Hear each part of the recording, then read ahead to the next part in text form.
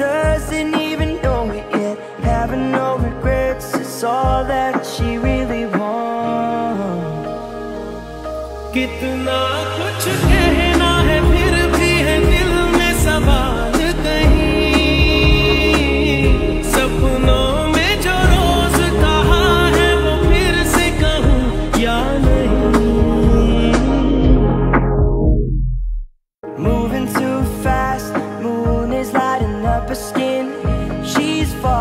doesn't even know it yet. Having no regrets is all that she really wants.